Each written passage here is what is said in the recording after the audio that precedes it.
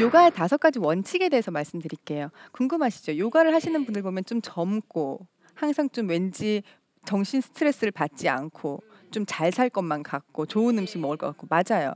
왜냐하면 노력을 해요.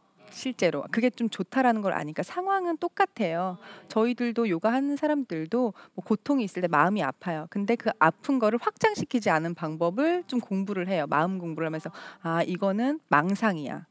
어떤 상황이 생기면 우리는 망상을 하잖아요. 막 확장시켜요.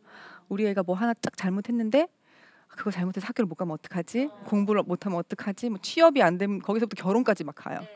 그러면 나중에 그 손자까지 생각을 하게 되는 그렇게 생각을 하게 돼요. 근데 그건 다 망상이거든요. 실제 상황이 아니에요. 그런 것들을 저희는 좀 차단하는 방법을 공부를 해요. 그런 것들이 그런 그 다섯 가지 원칙에 좀 영향을 받아요. 가장 첫 번째 나오는 것이 운동. 아까 우리 얘기했었어요. 그래서 깊이 얘기는 안 할 텐데 운동이 아까 하타 요가. 몸을 움직여서 하시는 동작. 아까 얘기했던 것처럼 척추를 항상 허리를 곧게 우리 보면 저 같은 경우는 지금 이렇게 서 있잖아요. 예를 들어 굉장히 날씬해 보이나요? 감사합니다. 네. 감사합니다. 진심으로 받아들이겠습니다. 이 자세에서 만약에 허리가 척추가 휘었다고 생각되면 이렇게 되죠. 그렇게 되면 배가 많이 나와 보이고 허리가 굽고 날씬해 보이지 않아요. 근데 당겨서 올려주는 자세만 바로 해도 훨씬 더 발라 보여요. 똑같은 사람인데 자세가 어떤 식으로 하느냐에 따라서 그래서 항상 허리를 곧게 펴시고 있는 사람이 자신감이 있는 사람이 매력도 더 있어요. 뭔지 모르게 자신감 좀 키도 작고 좀 아닌 것 같은데 제 자신감이 너무 많아. 이유를 모르겠어. 그럼 뭔가 있는 것 같아. 뭐지? 하나로 더 물어보게 돼요. 별거 없는 것 같은데 왠지 당당한 친구들 있잖아요. 그 쟤는 당당하면 안 되는데도 당당한 친구들이 있어요. 그런 친구들한테도 뭔가 우리 자신감이 있어요. 기억나시는 분이 있으신가요? 네, 그 분한테는 굉장히 장점이에요. 사실은 우리가 좀 배워야 될 부분이기도 해요. 자신감 있는 부분이 굉장히 매력 있어요. 그래서 항상 몸을 곧게 세우셔서 하시는 운동을 통해서 건강미 이런 것들 챙겨가시면 좋을 것 같아요. 그리고 호흡, 호흡, 호흡 중요하죠. 우리 몸은 수분이 80%로 이루어지신 거 아시죠?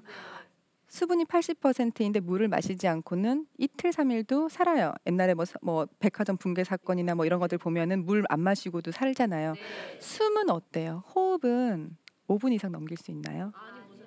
그죠. 호흡을 제대로 하지 않으면 굉장히 어 호흡을 제대로 하셔야지 몸이 굉장히 건강한데 도움이 되세요. 보통 요즘은 대부분의 사람들이 호흡을 여기까지만 해요. 하. 근데 복식 호흡하라고 이야기를 하잖아요. 숨을 좀 깊이 마시면은 폐가 좀 커지면서 장기가 밀리면서 배가 좀 앞으로 나오시는 거예요. 모르셨죠? 저도 안지는 한 몇 년밖에 안 됐어요. 왜 복식 호흡하는데 배가 나오는지 궁금했어요. 폐가 아무리 커져도 배가 나오는 게 이상하잖아요. 근데 폐가 커지면서 눌려지면서 장기가 약간 앞쪽으로 나오는 그런 효과가 있는 것 같아요. 근데 재미난 거는 폐가 혼자서 움직이지 못해요. 폐는 폐 주변에 있는 근육들이 움직여서 숨을 쉬실 수 있는 거예요. 그래서 호흡을 수련해줘, 수련해줘 이야기를 하는 게 그 근육들을 움직이는 거를 성장시키시는 거예요. 그래서 인도 영화 같은 데 보면은 이렇게 호흡도 하고 뭐 이렇게 왔다 갔다 뭐 교호흡도 하고 많이 하잖아요. 그런 호흡을 깊이 있게 좀 해주시는 게 도움이 된다는 거죠. 한 예로 중요한 것은 여러분들 보시면은 그 막 막 큰일이 났어. 그러면 이러죠. 야, 너 숨 쉬어.